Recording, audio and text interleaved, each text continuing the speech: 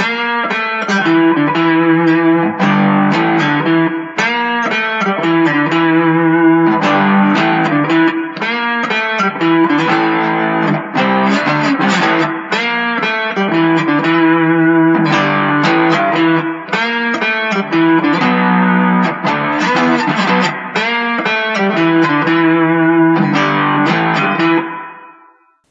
today I'd like to teach you how to play Boom Boom, otherwise known as Boogie Chillin' by John Lee Hooker. I'm tuned to G, G, D, G. This song is actually an E, but it works out great for us. And it's a call and answer song. So you play a lick, then you play another lick to answer it. So I'll show you the first lick. We're going to start with a three, sort of slide into it on the first string, then two on the first string, then open on the first string, and then 202 on the middle string.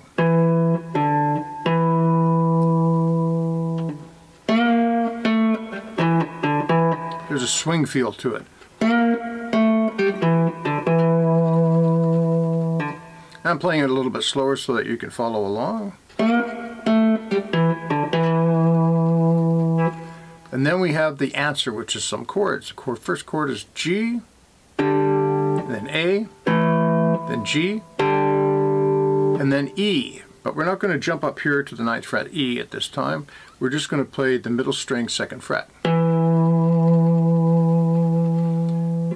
But there is something important about that.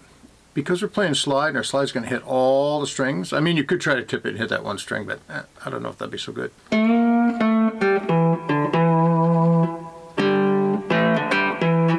You notice how just that middle string came out? That's because over here on my right hand, my thumb is controlling and muting this string. My first finger is playing the middle string and my middle finger is playing the high string.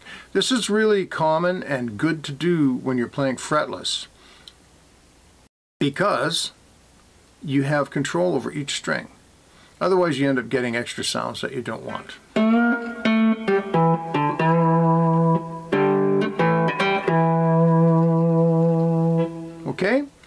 Hopefully we've got that.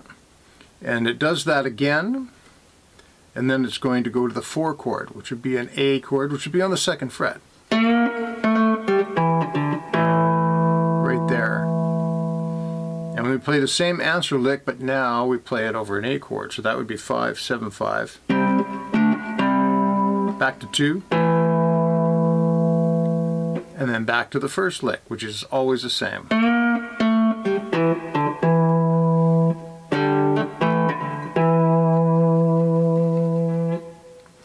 Do the lick again.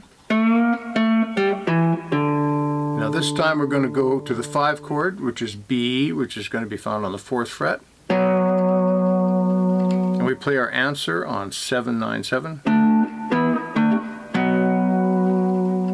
And then back to the 1.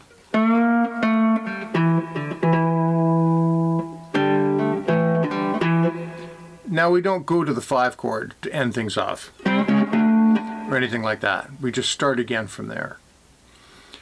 That's all there is to that. So hopefully you follow along there. It is a little tricky with the uh, first lick, getting that one note to come out and muting the two side strings. But once you get that, the rest is very easy. Now, the one thing that is different about this song is when the singing starts, you don't do that lick anymore. You just fill in, and of course you wouldn't fill in with opens, you'd fill in with nines.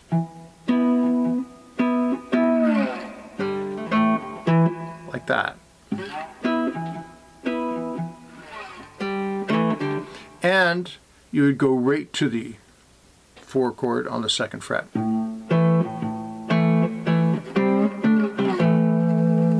And back to the 1, which would be the 9.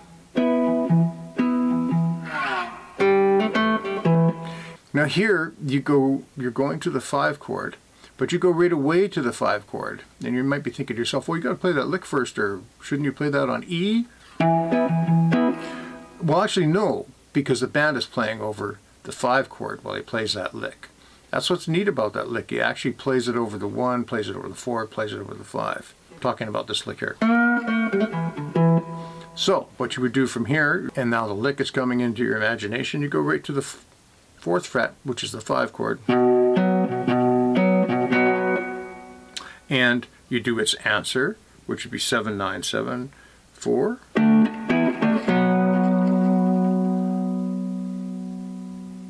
And then you're back into the one.